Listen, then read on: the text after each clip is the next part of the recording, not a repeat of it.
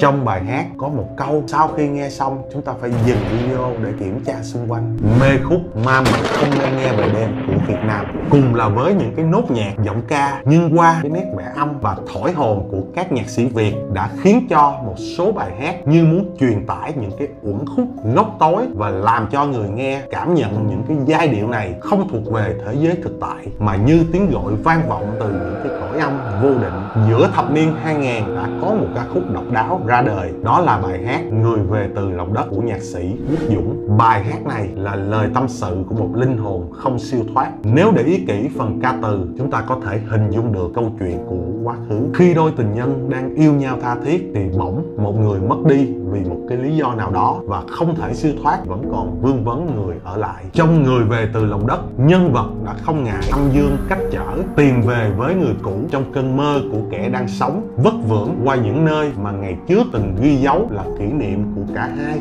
Khi nhắm mắt để lắng nghe giai điệu thì tác giả đã thành công trong việc miêu tả khung cảnh làm cho mỗi người nghe có thể tưởng tượng được những cái bối cảnh khác nhau, nhân vật khác nhau và hiểu thêm về cái bi kịch đã xảy ra với cặp đôi này như thế nào. Trong đoạn cuối của bài hát, linh hồn có lẽ cũng đã quá mỏi mệt vì cứ mãi vất vưởng trên nhân gian, cho nên đã nài nỉ người tình cố quên mình đi để mà còn siêu thoát khỏi cái chốn trần gian lạnh lẽo này. Đứng vị trí số 2 là bài hát Không giờ của nhạc sĩ trẻ Phạm Trần Phương trong chương trình Sing My Song năm 2016 xét về nhạc tính thì đây là một cái ca khúc rất lạ, được ban giám khảo khen là quái, gây ấn tượng được với người nghe ngay từ lần tiếp cận đầu tiên. Chưa kể cách xử lý độc lạ, sởn gai ốc của tác giả trong bản thu làm cho người nghe có cảm giác như tiếng của ai đó vọng về từ cõi âm. Cao trào của bài hát được đẩy lên dần dần, khéo léo và đầy kịch tính, mang lại cho chúng ta những cái hình ảnh sống động như đang xem một bộ phim. Thẳm sâu trong những cái giai điệu và ca từ đó là nỗi sợ hãi của những con người cô độc sống trong bóng đêm. Những chiếc bóng đó phải chăng là những bóng linh hồn hay chỉ là minh chứng cho sự lạc lõng? Trong bài hát có một câu sau khi nghe xong chúng ta phải dừng video để kiểm tra xung quanh.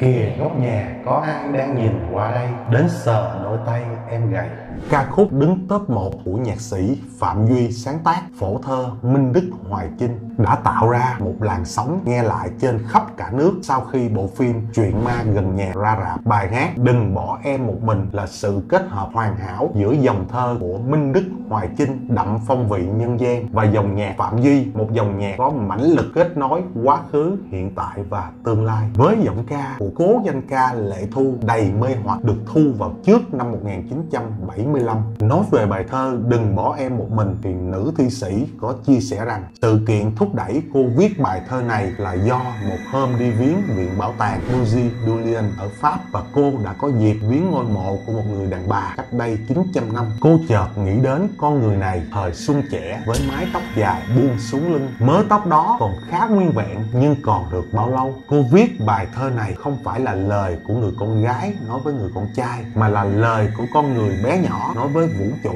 đứng trước mặt đại dương mênh mông. Theo cô, không có âm thanh nào ghê rợn bằng âm thanh của tiếng búa nện trên đinh cùng với cái nhịp điệu của tiếng cầu kinh. Đó là ba bài hát mà theo mình là những mê khúc ẩn chứa nhiều câu chuyện cũng như chứa đựng thế giới khác ở bên trong đó. Còn các bạn, bài hát nào để lại cho các bạn nhiều suy nghĩ nhất?